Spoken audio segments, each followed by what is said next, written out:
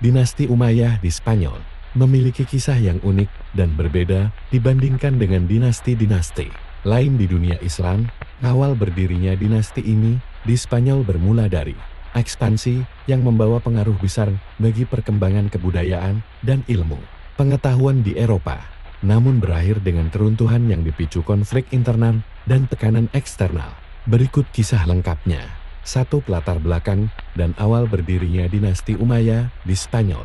Dinasti Umayyah adalah dinasti Islam pertama yang berpusat di Damaskus 661-750 Masehi setelah era Khulafaur Rashidin. Namun, dinasti ini runtuh ketika kaum Abbasiyah melakukan kudeta besar pada tahun 750 Masehi. Seluruh anggota keluarga Umayyah dibantai dalam kudeta tersebut kecuali seorang pangeran muda bernama Abdurrahman bin Muawiyah Abdurrahman I, yang berhasil melarikan diri ke wilayah barat.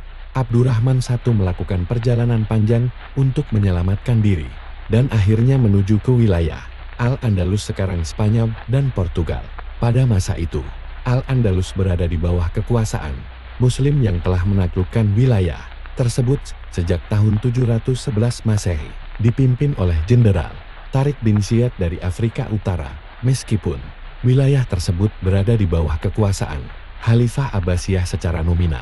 Namun kekuasaan pusat sangat lemah sehingga Al-Andalus dapat diperintah secara semi-otonom.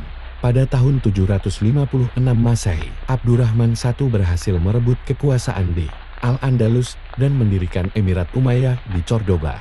Ia memutuskan hubungan dengan kekhalifahan Abbasiyah dan mendirikan pemerintahan independen di Spanyol.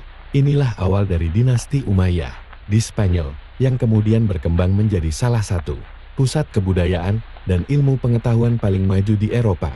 Dua kejayaan dinasti Umayyah di Spanyol. Setelah Abdurrahman I, kekuasaan diteruskan oleh putranya dan akhirnya mencapai puncak kejayaan pada masa pemerintahan Abdurrahman 3912-961 Masehi. Pada tahun 929 Masehi, Abdurrahman III memproklamirkan diri sebagai khalifah, menandai berdirinya kekhalifahan Umayyah di Cordoba. Tindakan ini menegaskan kekuasaan Umayyah sebagai tandingan bagi Abbasiyah di Baghdad dan Fatimiyah di Afrika Utara. Pada masa pemerintahan Abdurrahman III dan penerusnya, Cordoba menjadi pusat ilmu pengetahuan, perdagangan, dan kebudayaan. Banyak bangunan megah yang dibangun, termasuk Masjid Cordoba, yang merupakan salah satu keajaiban arsitektur dunia. Islam, kota Cordoba juga menjadi pusat ilmu pengetahuan, dengan perpustakaan besar yang memiliki ribuan buku dan menarik para cendekiawan dari berbagai belahan dunia. Di sana, berbagai disiplin ilmu berkembang pesat, termasuk matematika, kedokteran, astronomi, filsafat, dan seni. Tiga, konflik internal dan keruntuhan dinasti Umayyah di Spanyol.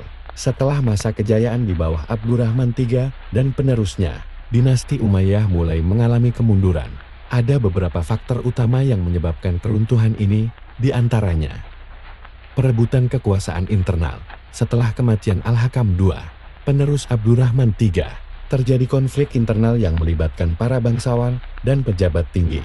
Pejabat tinggi seperti Al-Mansur, Ibnu Abi Amir Al-Mansur menjadi sangat berkuasa, bahkan mengendalikan pemerintahan.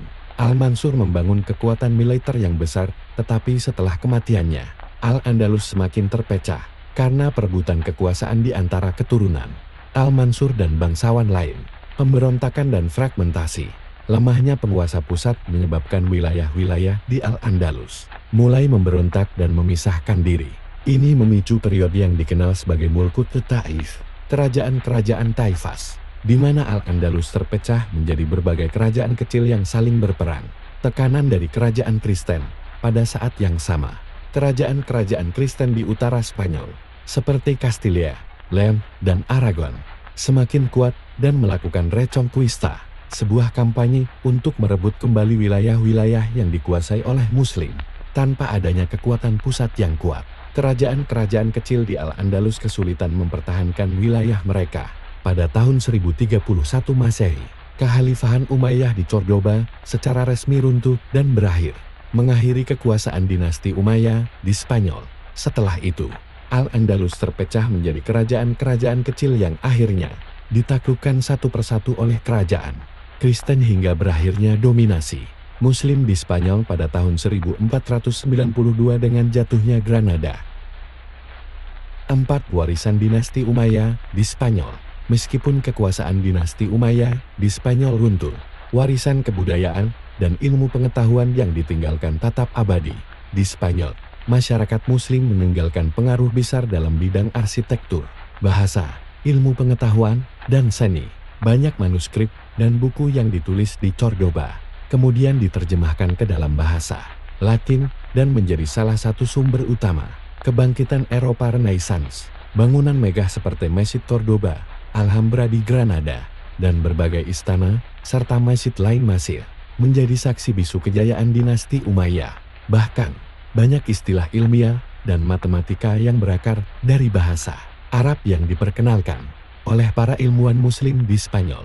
Kesimpulan, dinasti Umayyah di Spanyol berdiri dari perjuangan seorang pangeran yang berhasil melarikan diri dari kudeta Abbasiyah di bawah kekuasaan Abdurrahman I dan keturunannya. Al-Andalus menjadi pusat kebudayaan dan ilmu pengetahuan. Namun, dinasti ini akhirnya runtuh akibat konflik internal, fragmentasi politik, dan tekanan dari kerajaan-kerajaan Kristen.